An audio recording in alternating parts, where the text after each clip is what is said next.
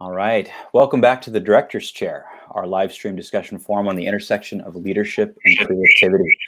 Two crafts and disciplines that are critical to one another, and in some ways and in some specific examples that are obvious, such as, such as the expressly creative leadership required to realize small and large scale projects such as film or theater director, from which we've taken our name for the show here, and others that are perhaps less so, such as the ways in which our creative outlets and creative energies can indirectly and often directly influence the way that we lead and how this can help our teams and the groups that we have the privilege of serving in this capacity achieve better and more innovative outcomes in all kinds of circumstances, whether it's expressly creative or uh, an expressly creative artistic endeavor or uh, one in which the most creative uh, and innovative approach will enable success. And as leaders, one of our primary responsibilities and charges is to bring the energy, enthusiasm uh, necessary to create the conditions that will enable our teams to be at their very best. And in some, if not all cases, this entails finding ways to bring out and leverage individual creativity to inspire the betterment of collective outcome,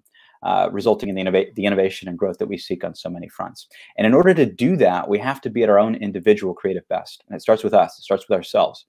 And if, and if we're not finding ways to uh, fill our own cups, to replenish, if you will, to, to kind of stretch uh, our creative, uh, personal creative muscles, uh, it will be very difficult for us as leaders to be able to bring that out in others. So today I want to talk about how we do that. And as time permits, uh, then how we can in turn inspire others uh, with our own creative energy. We have a responsibility, of course, to bring that to the room each and every time. So we have a great group here. I've been looking forward to this discussion. Uh, so let's kick it off. Um, Brian, can I ask you to start us out? Um, you're a highly creative and innovative leader, um, three-time CEO. You've had time to invest in creative outlets yourself. Um, we've talked about last time that, that I imagine you use to fill your cup and have inspired you in different ways throughout your career. Could you speak a little bit to how you maintain your own creative edge and maybe where you seek inspiration, how you keep your cup full? Sure. And I try to make everything fun.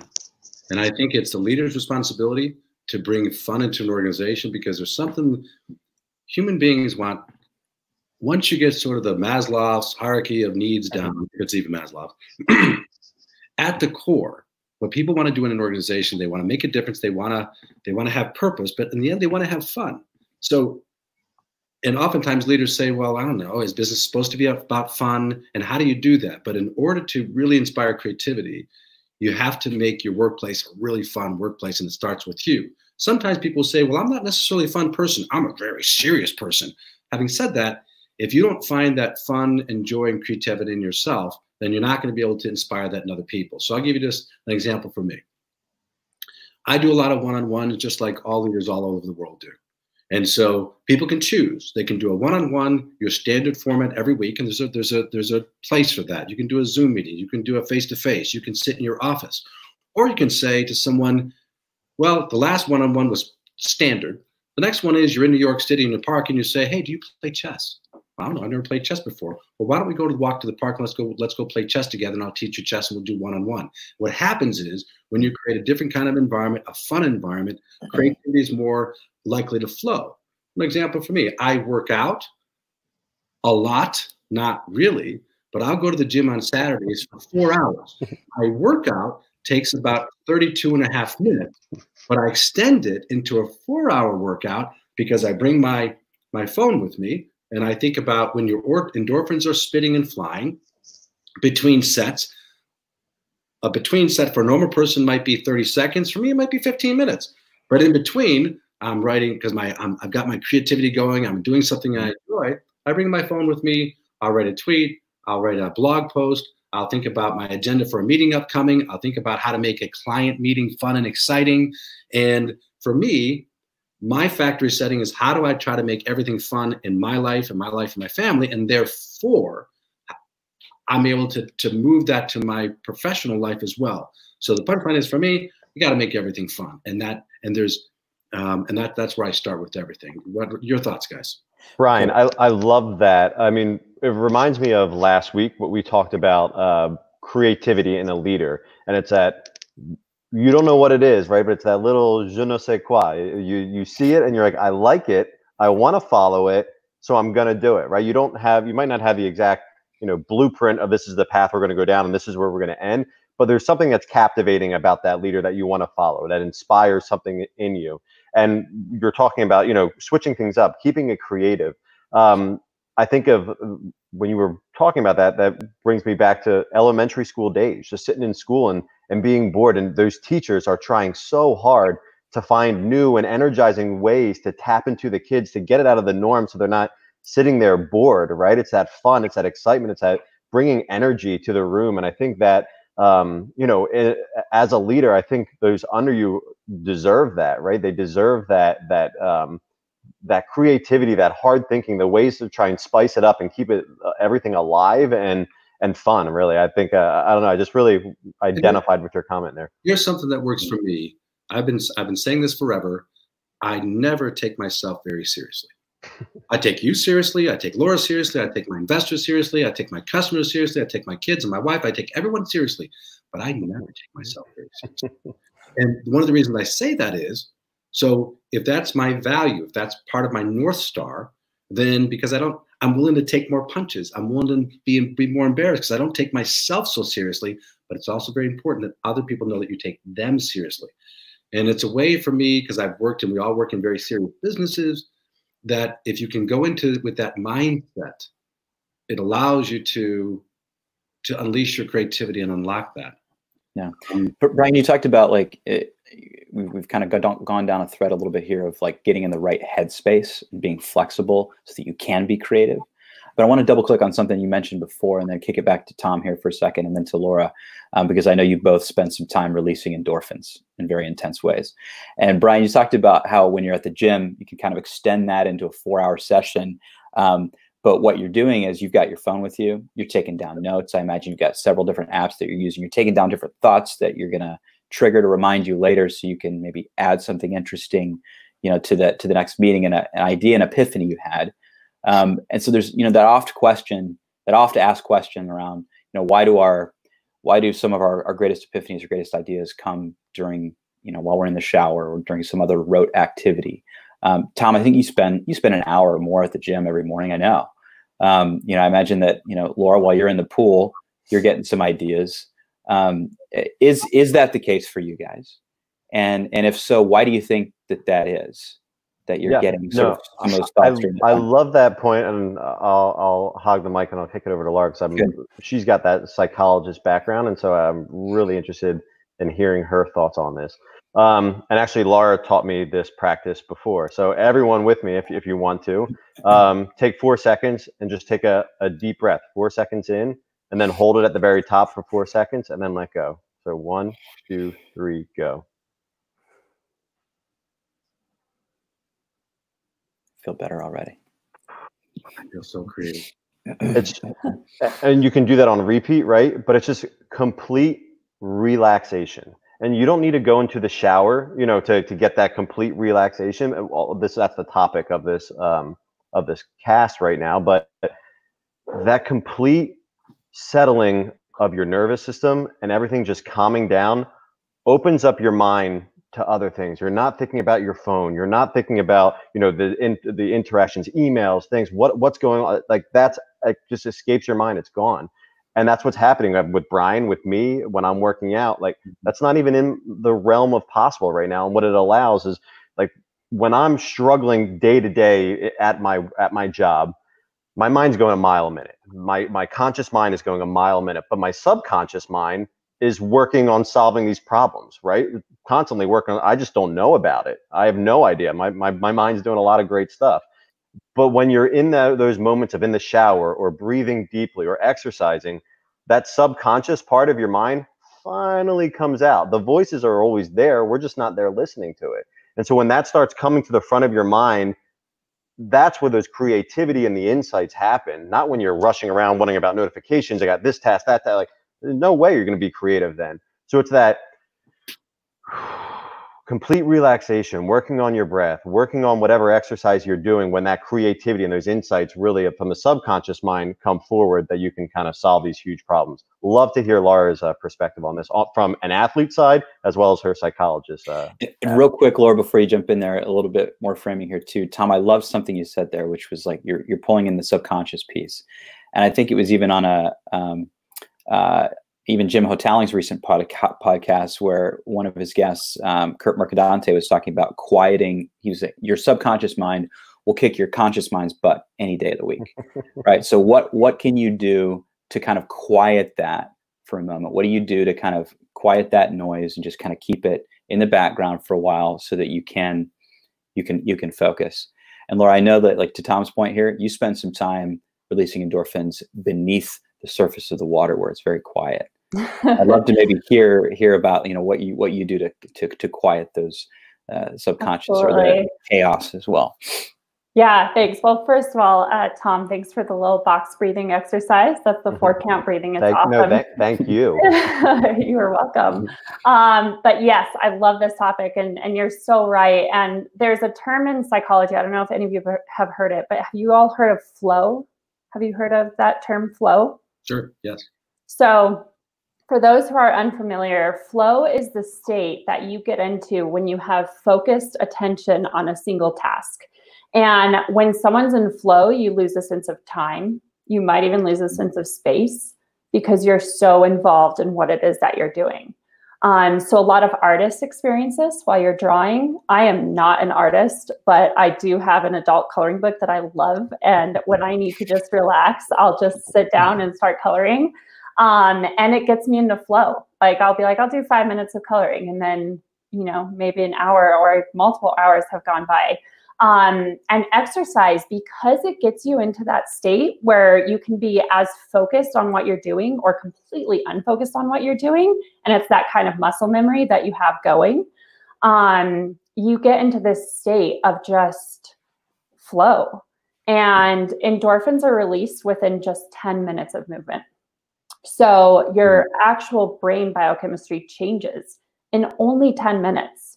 Um, and so once you start getting those feel good endorphins going, you have the physiological changes, you have the nervous system changes, um, and you're doing something you enjoy, ideally, right? So, absolutely. I grew up swimming. I was competitive swimmer through college, and that was my flow, absolutely. Um, still, when I get in the pool, that's actually one of the things I'm struggling with right now is not having access to a pool. Um, because being in the in the water, especially with the the sound of the water going by you and the feel of the water, the resistance of the water, um, it is one of the greatest states of flow for me. And absolutely, I come up with blog posts for myself. I'll come up with you know ideas for school, ideas for work. Um, when I'm in that state. And then the other, my other favorite state is being on a trail um, running because there's no one around and it's just me and nature. And that's the time when so many ideas come. Um, because yeah, the the task reminders, the to do list, it's all gone. It's just well, me in the water, me and the trail. You're, you're talking about muscle memory, right? So I think mm-hmm. we all have habits and how we get into a flow. I had a coaching call this morning at seven o'clock. I have to get up at five to get into flow, do things a little differently. I have my habits, my coffee, all this other stuff. But then I'm also aware that if I keep doing things the same way, if I go to the gym and I do the same exercises again, I'm not getting the same results. I'm not getting the same spark. So, how do you spark yourself? And I'll give you an example. So let's take let's take the exercise theme off of it when I lead a meeting or a team, and I know that it's become a little stale, if we have an ideation session, as we all do, I may just create something on the fly and say something like, okay, the first person who says no has to put a dollar into a jar. It's just a little spark. It makes the meeting a little bit more interesting and fun. But how do you and others, how do you change your routine? You get into your flow. How do you change that so you can add a little spark to it, whether it's your workout regimen or whether it's your how you create a meeting um, to to keep people off off on tilt a little bit, which often inspires creativity. How do you do that? It's a great question. question. Yeah, uh, mm-hmm. number one, that's a great question, and I I think there is no there's no playbook, right? Because if you have a playbook, then you're falling into that trap, right? You're, you're it's the routine.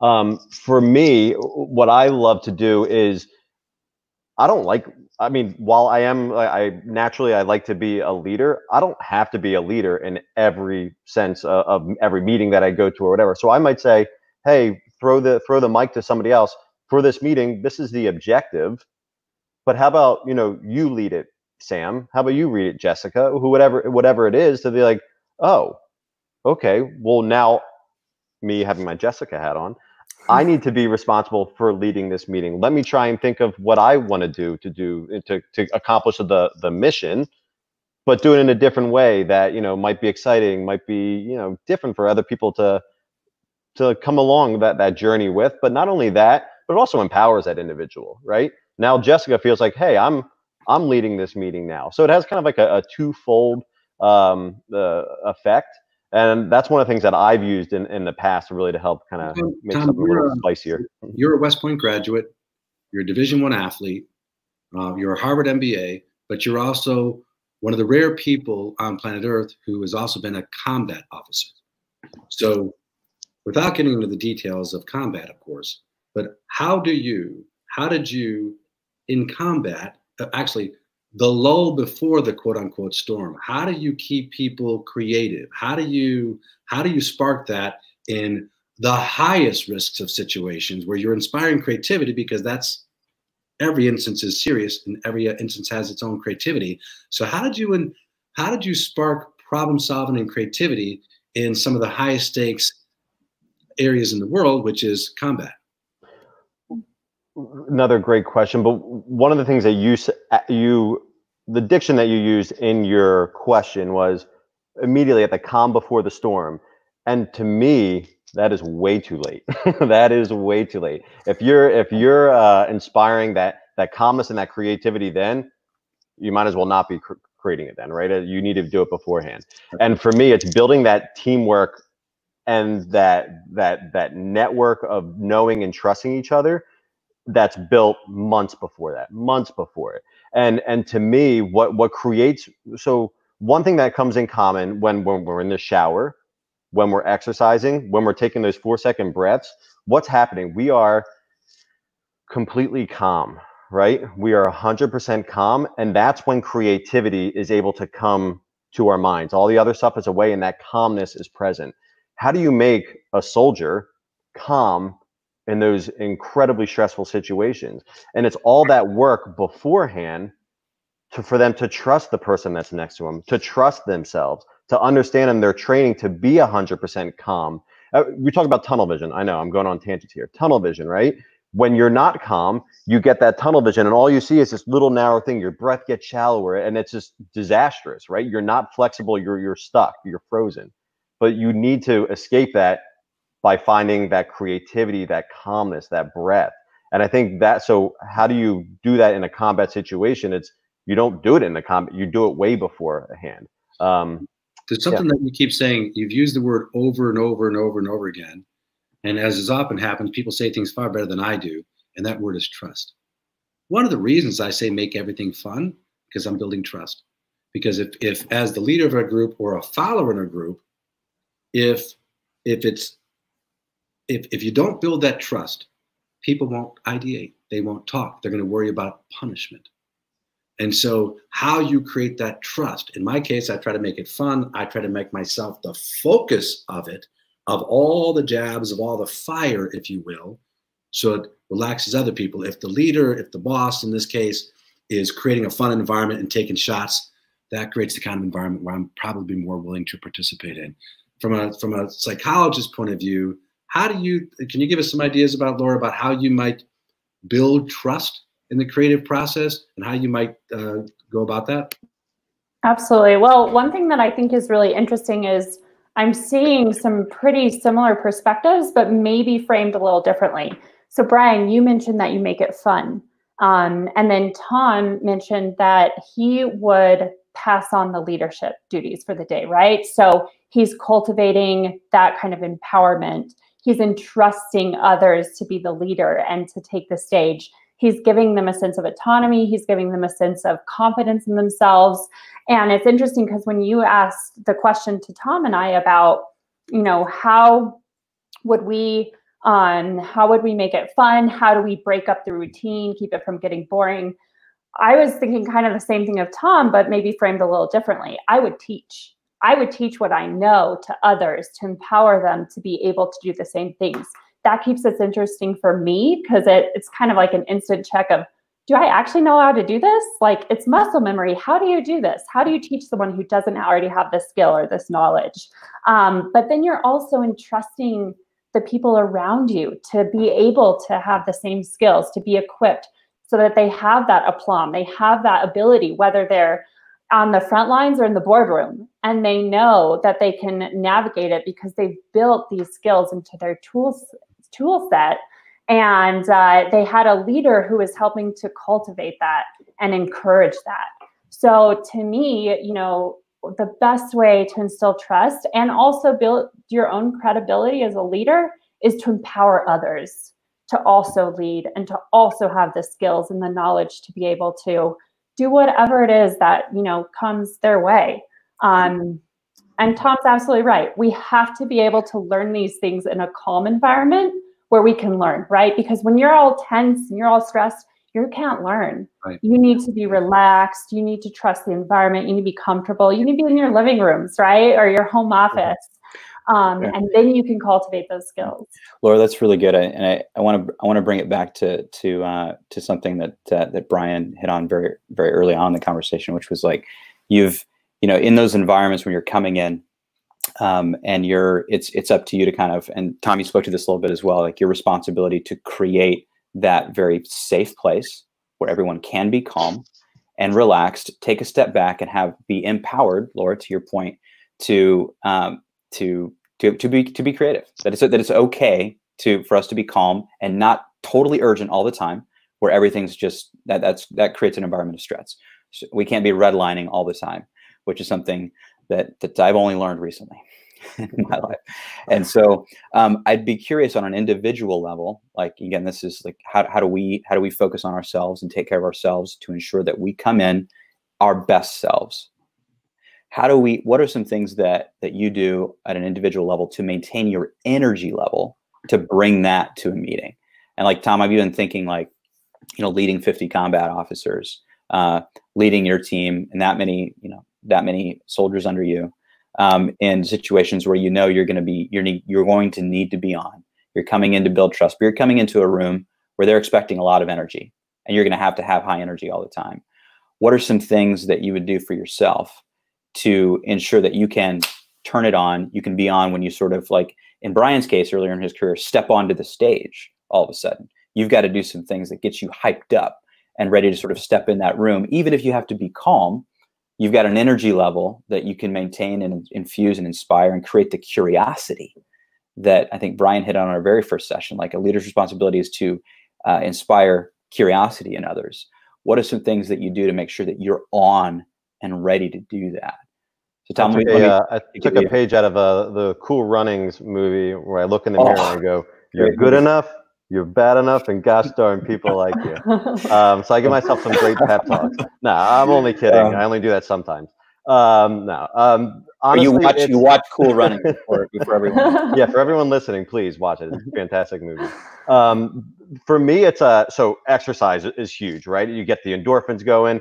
Uh, you don't. It's like for me, it's like you almost like package it up in a bottle, and it's like there all day. Like it's just in, in your like in present in your body somewhere. You can kind of unleash it or, or what have you. But um, one thing you could do, I mean, positioning, just the way that you hold your body, right? Those breaths, getting getting to yourself in that uh, that place of calm. Also having check-ins, right? Having a check-in and saying, all right, I'll put five minutes on my calendar after this long, stressful meeting. Let me just, you know, collect myself, understand five minutes of really digesting things that are going on in my head, what's going on in the outside world. How do I make sense of it? Create that period of calm, create that period of being in the shower without getting myself all wet and a little bit more uh, uh, mobile. Uh, but you know, it's just creating those moments where you can reflect on things for a little bit and how might you approach the last hour long meeting differently? What could you have done? And, and it's just really constantly getting, I don't want to say get in your head, but reflecting on the good, the bad, and what, you know, could have been done maybe a little bit better. And so it's that constant sense of like an improvement and not being complacent and rushing to the next thing. It's being very systematic about how you approach your day and your tasks.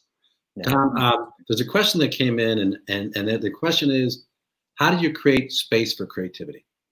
And I always tell people, never apologize for blocking out your calendar and it can be a full day to think and be creative. And especially in this world, especially the startup world, where you have this transparent calendar culture in many places where everyone can see the, the calendar of your peers and the CEO, and we can debate whether that's right, wrong, or otherwise, but this transparency around calendars. So people are nat- sometimes naturally bent to, I better fill it up so people can see that I'm really working.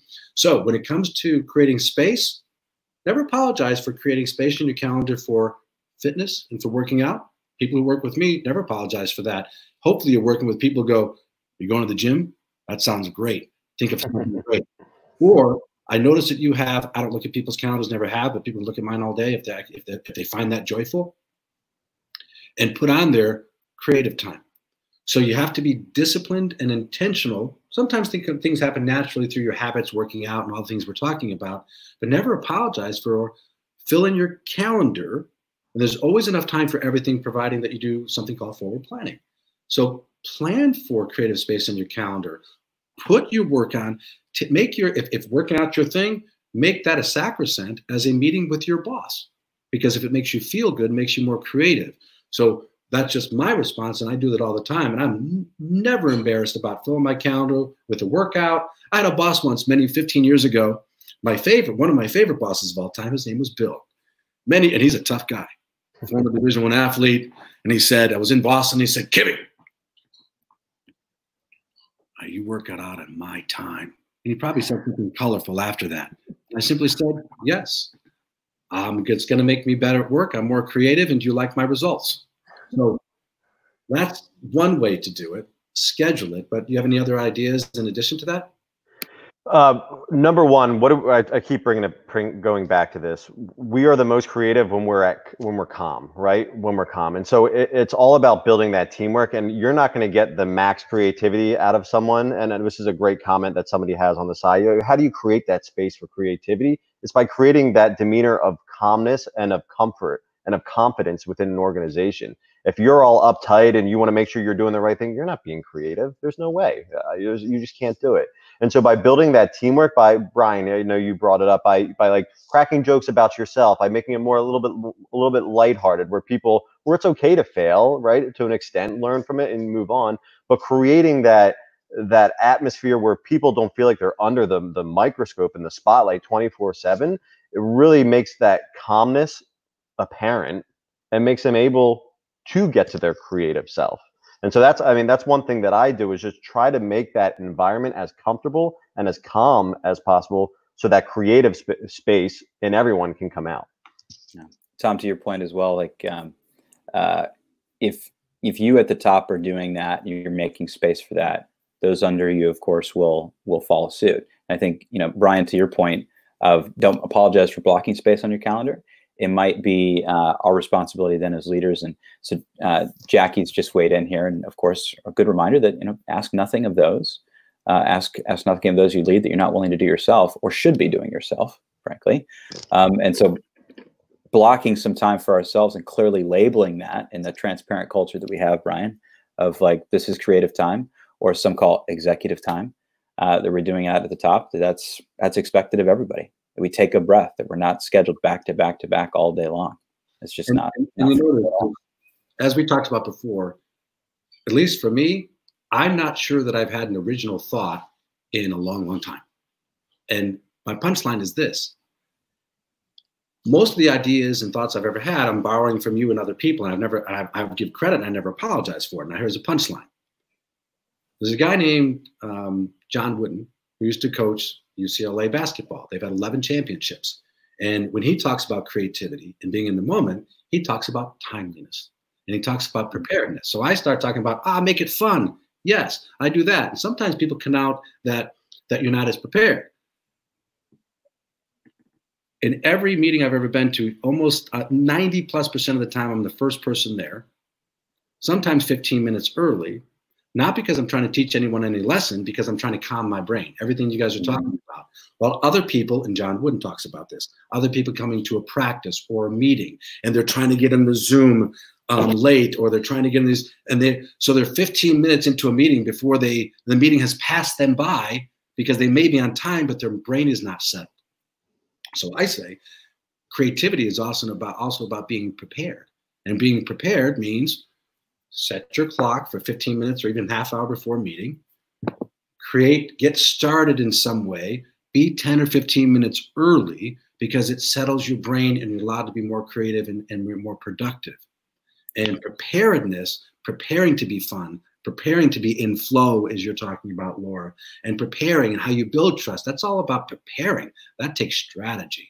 So creativity is often about as much about strategy as, as, as much as it is about spontaneity. Yeah. Um, so I, I we're, we'll we'll run out of time before we know it, but I, I um, I'd love to selfishly uh, shift here a little bit um, because I'm curious about hobbies. I don't have many hobbies myself. I want to pick up some more hobbies, um, and I'm curious about what this group does here. Laura, you talked about coloring. What are some things mm-hmm. that we do, um, which you know, selfishly with two young daughters at home, I, I spend a little time doing that, but not really. I really want to.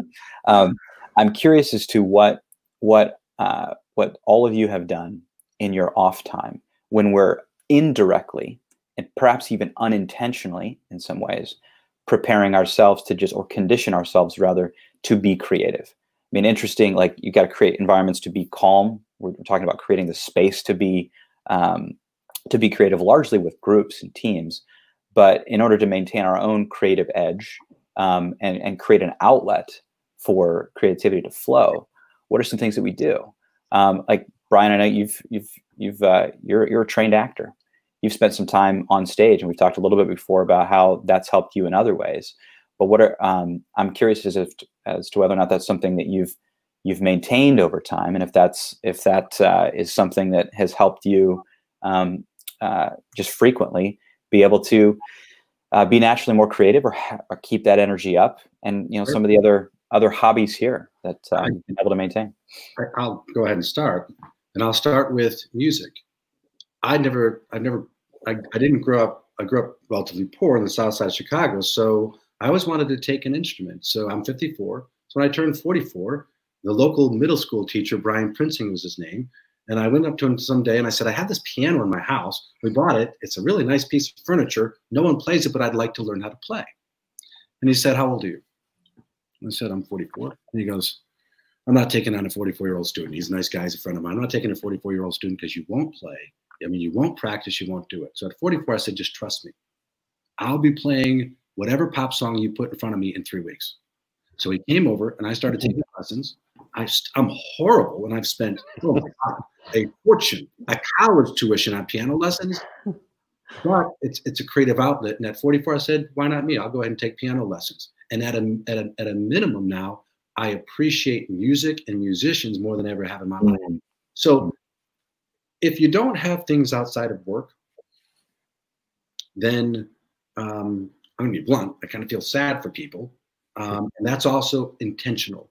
You have to have things outside of work because jobs pass. We all know right now in the pandemic, this, this health crisis, jobs pass, people pass. If you don't have habits outside of work, you're positioning yourself to not, not be as effective and creative in work. So for me, yeah.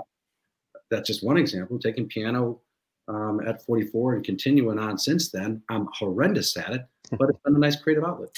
I hope uh, hope maybe you might play for us on a on a future session, Brian, as well. I may have to change it. Might be a I'm going to tell you something. So I had a national sales meeting many many years ago when I did this piano thing, and we were talking about this. I had challenged them, the whole company previously, to learn something new outside of work.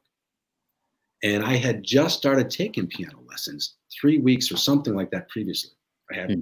very few lessons. And I had a piano I hope, I hope everyone knew that too. And they did know that. I had a piano on stage and I played 45 seconds, but it still sounded pretty good, of Imagine by the Beatles. Oh, nice. The whole idea was I was I was my hands were shaking you know, on the stage and and you know there's probably two or three three thousand people there. I was trying to prove a point.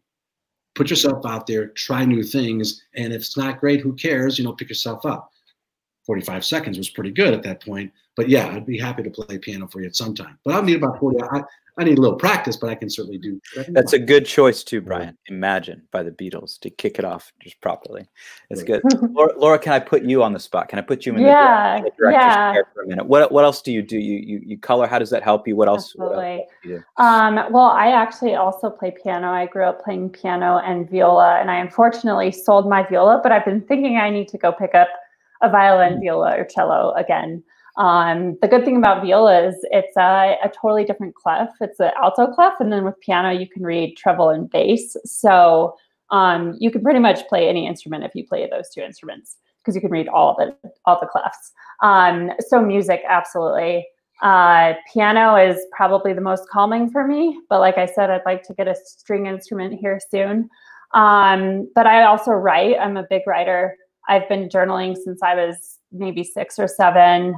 Um, I have a blog. I teach kids to swim. Um, I'm an ultra runner and a triathlete. So I kind of I need to have a lot of different outlets. But I think the thing that's really important and creating space for creativity, especially right now with everything going on, is to find what you love, right? So find maybe it's meditating, maybe it's going for a walk with the dog or the kids. Um, maybe it's learning a new instrument or a new language. Um, or maybe it's like, hey, I want to learn about a very specific industry or point in history, something that's engaging that kind of takes you out of everything going on in the world right now and out of your work mode. Um, and just gets you interested. It gets you into your like creative, calm headspace for 30 minutes, an hour every day, um, and schedule it. As Brian said, make it an appointment that is as important as an appointment with anyone else. You wouldn't cancel an appointment on someone else. Like, why are we always canceling appointments on ourselves? Be relentless so, and protective. Great point. Absolutely. You have to put in your calendar and you have to say, this is important. I'm doing it. Um, maybe it's a, a bath, you know, like whatever it is that gets you in that state of relaxation and just makes you feel cared for and makes you feel grounded. Um, and I, or if you're like me find a lot of different things that all scratch a different itch and and just kind of like let you work different parts of your brain. So it's impressed me laura just how well rounded you are. It makes me feel um, motivated. I'll put it that way. well, Laura, it makes, me, it makes me feel a little less. And at the same time, because I know I had Yeah, I'm glad it makes you feel uh, motivated because it makes me feel worthless. But uh, yeah. uh, so, to, Tom, Tom uh, any any thoughts on your end? I'm curious. Like you're you're many people would look at your background who don't know you, like Laura and, and Brian and I know you, and say like you know again you know, West Point grad, Harvard MBA, everything that Brian outlined before, combat officer, doesn't sound like the most creative of outlets as well. But I know that's not true. Um, I know that you've, among other things, taken up Bhangra dancing and choir. Uh, what are some other things that maybe we don't know about Tom Dunn? That, well, I really uh, pulled the wool over your guys' eyes, didn't I? nah, I'm only kidding. Um, and, and actually, that's a great point because I've considered myself for the longest time not, i'm not creative. There's no way i'm not creative. That's just that's the trap that i fell into. And anyone listening to this don't fall in that trap right? It's a complete lie. Like there are many different forms of creativity. I grew up my oldest brother incredible incredible artist is doodler and my middle brother they just doodle stuff all the time and take five minutes and it looks like a picasso work. I'm like what the what, what, what did they get that i don't like? I'm not creative. This is why I even try to, to be creative. That's one outlet of creativity and there's many many different outlets. And so i number one i just would challenge anyone listening to this to really figure out you know what it is that makes you that brings that calm that is creative that gets you know juices flowing in your head because um, i guarantee you everyone's got it. You just got to figure out what it is. Um, for me i love cooking. I love food you know like i, I am a huge fan of food and i think that comes uh, in from different sides so like number one i love to eat right i love food um, and number two, I love cultures, right? So you mentioned Bhangra dancing, like uh, that's some pretty crazy, uh, uh, you know, Indian dancing that, that, that I did in business school. Um, but it's learning something new. It's learning something about a culture, right? And, and part of that is, is you're, it's intriguing. You learn something that's different and talk about creative. You learn about something that they do things completely different than you. And does that make them wrong? Does that make them right? No, it just makes them them. Um, and so I love kind of taking these different pieces and, and making, molding myself to a better person, being creative and saying, oh, I want a little bit of this. Well, I'll take a little bit of that. What about this? Right? I'm going down the shopping, down the, the, the, the, cart uh, with the shopping cart in the, in the store. Um, and so cooking, I love cooking. I love it. You're incredibly creative, but I'll tell you what I don't love doing. I don't love baking. Baking is incredibly precise, incredibly precise, and you're following. It's prescribed, and I hate it. Yeah, I don't want it. I I will not be a baker. I never will be that, but I will be a cooker. Let me tell you, I'll be a cooker, and maybe I'll throw a little bit more olive oil in there. Maybe I'll put a little more spice or whatever it is. It's, you're not right or wrong. It's a creative thing. It's a little bit. Oh, this culture uses this spice. Let me try this one out and throw it in a, a meal ne- uh, next week.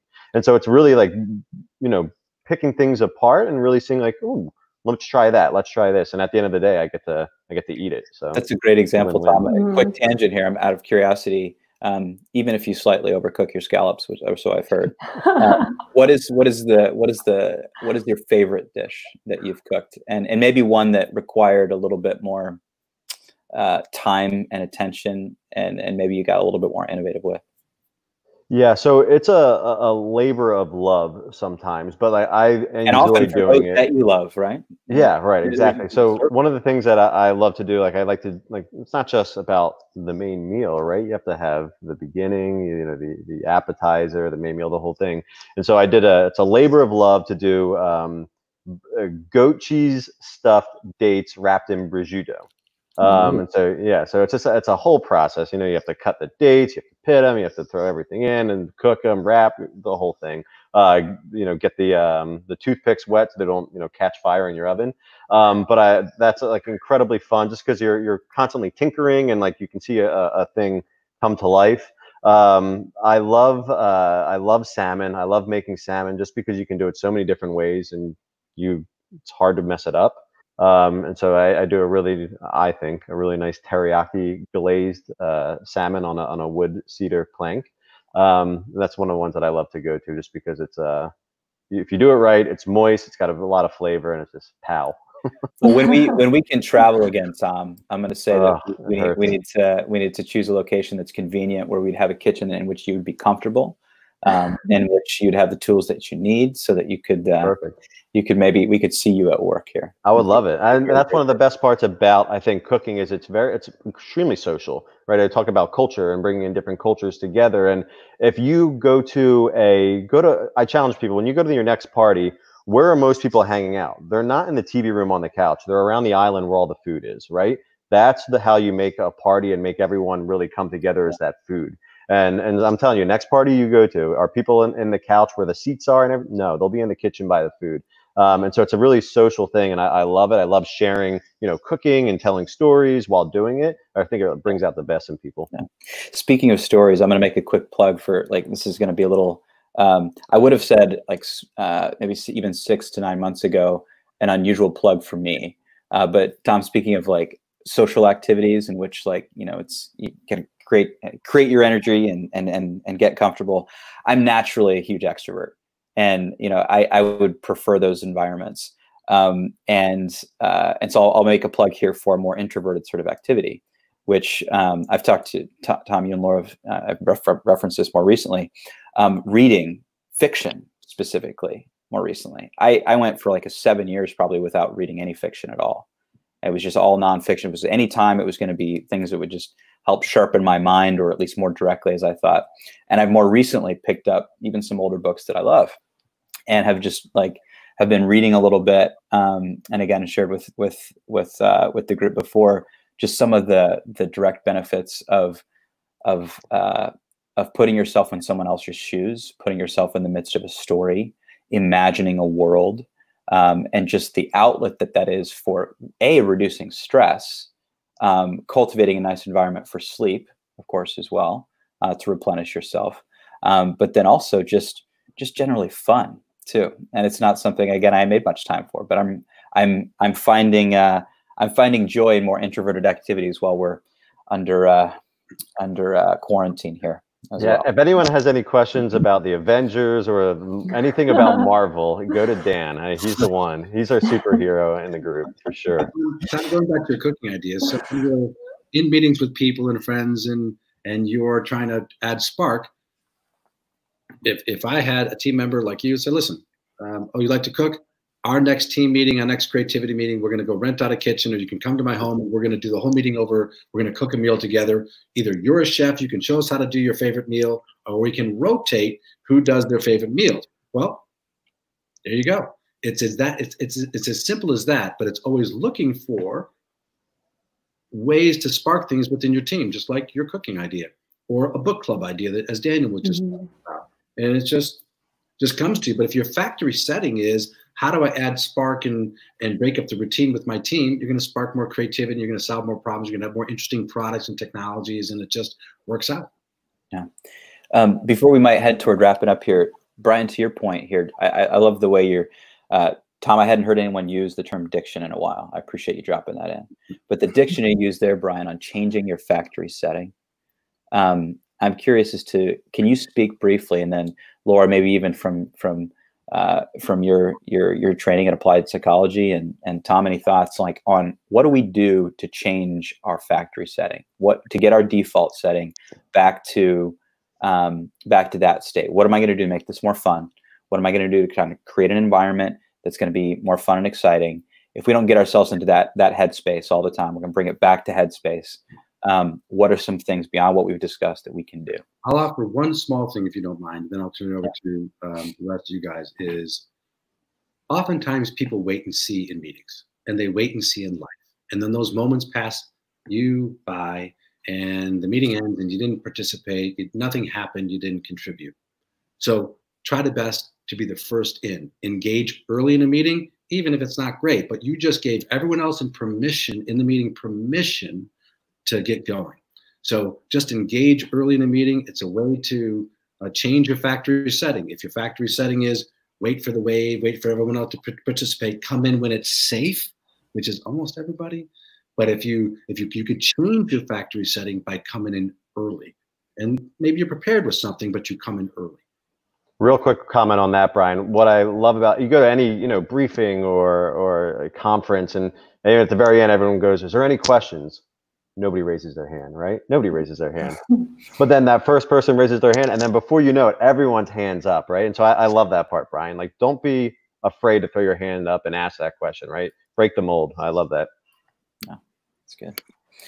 Laura, any thoughts on your? Yeah. Uh, oh, so many, but um, I'll try uh, for the sake of brevity. I mean, I think that's such a great suggestion, Brian. I think that you know, just there are no bad ideas, right? And diversity of thought is what ultimately leads to innovation. And I was actually talking with one of our other colleagues the other day, and I was saying, you know, we gotta we gotta channel our inner Steve Jobs because, um, you know, one time there was a question of, you know, if he had asked people, all right, so what do you think the next phone should be? People wouldn't be thinking of an iPhone, right? They would be thinking of the um, landlines. I was like, what are those called? Um, they would be thinking of a landline, right? And like maybe it's a landline with like a different type of button or, you know, like one like new functionality. Um, but he didn't even like think in that terms. He was like, I'm starting over. I'm throwing the playbook out. Like this is something completely new. Um, but the best way to have that is with collaboration, right? So if that first person raises their hand and empowers everyone around them to raise their hand, it starts a discussion, right? Like, I mean, we're seeing that right now. Someone says something and everyone else is going, oh, that's right. Like, I wouldn't have thought of that. Or, oh, that's right. Like, I come from it at this angle because this is my experience or this is my education. And so, absolutely, Brian, you have to sit at the table.